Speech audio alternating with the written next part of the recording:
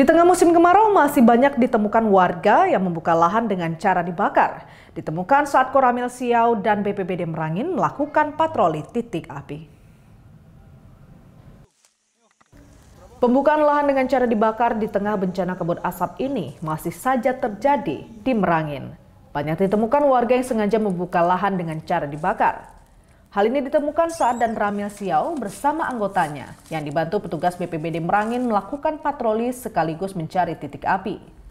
Patroli karhutla dilakukan di wilayah Arai, Kecamatan Muara Siau. Banyak sekali ditemukan lahan warga yang sudah siap dibakar, bahkan di beberapa titik sudah ada warga yang melakukan pembakaran lahan. Sisa api dan asap dari pembakaran masih terlihat sangat jelas.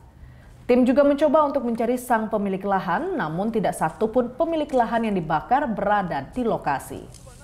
Kapten Infanteri Ramlan mengatakan pihaknya telah sering melakukan sosialisasi terhadap masyarakat agar tidak membuka lahan dengan cara membakar, namun sepertinya belum juga diindahkan.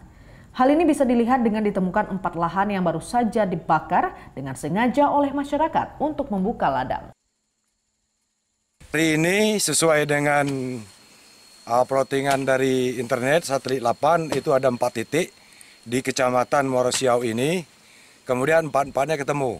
Ada sebagian yang sudah padam kena bakaran kemarin, ada yang sisa bakaran kemarin itu masih hidup. Tim Liputan Kompas TV Jambi.